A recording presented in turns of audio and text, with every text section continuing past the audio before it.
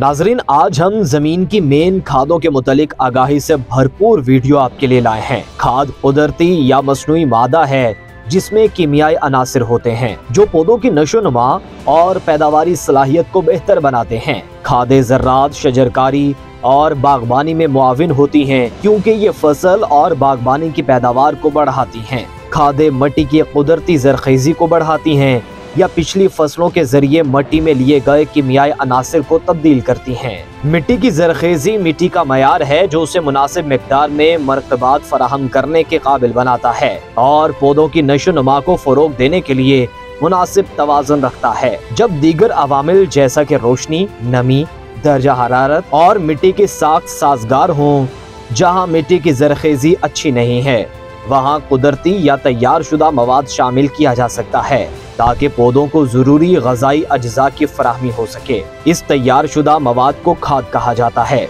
हालाँकि ये असलाह आम तौर पर चुने या जिप्सम के अलावा बड़े पैमाने पर गैर नामियाती मवाद पर लागू होती हैं। जदीद कीमियाई खादों में तीन अनासर ज़्यादा मकदार में शामिल होते हैं, जो पौधों की गजाइत में सबसे अहम होते हैं। जैसे कि नाइट्रोजन, फास्फोरस और पोटाशियम। जबकि सानवी अहमियत के अनासर में सल्फ़र, मैग्नीशियम और कैल्शियम शामिल हैं। ज़्यादातर नाइट्रोजन खाद मसनू अमोनिया से हासिल की जाती है। इस कीमियाई मरकब एन एच थ्री को या तो गैस के तौर पर या पानी में इस्तेमाल किया जाता है, या इसे एमोनियम सल्फेट, एमोनियम नाइट्रेट या एमोनियम फास्फेट जैसी नमकियात में तब्दील किया जाता है। इसमें नाइट्रोजन की मकदार ज़्यादा होती है और मिट्टी में आसानी से एमोनिया में तब्दील हो जाती है। फास्फोरस खादों में फास्फेट चटान या हड्डियों से हासिल करदा कैल्शियम फास्फेट शामिल है।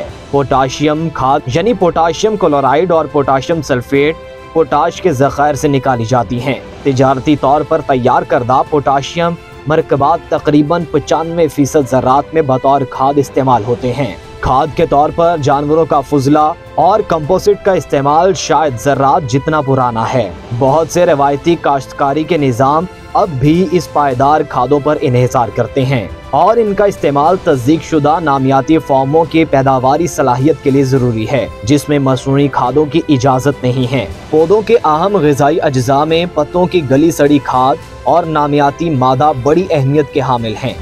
खाद की बड़ी मकदार मवेशियों के फजले के ज़रिए भी तैयार की जाती है, जिसे गोबर की खाद कहा जाता है। इस तरह की खाद मिट्टी के जरखेजी को बरकरार रखने और बेहतर बनाने में अहमियत रखती है, क्योंकि इसमें मौजूद पौधों के गजाई अज्जा, ह्यूमिस और नामियाती मादे होते हैं। खादों को मिट्टी में ठोस, माया या गैसी शक्ल में शामिल किया जा सकता है। इंतखाब बहुत से अवामिल पर मुनहसर है। आम तौर पर किसान पैसे और मेहनत में कम से कम लागत पर तसल्ली बख्श पैदावार हासिल करने की कोशिश करते हैं। खादें आम तौर पर चार किस्म की होती हैं। गोबर खाद, कंपोस्ट खाद, सब्ज खाद कीमियाई खाद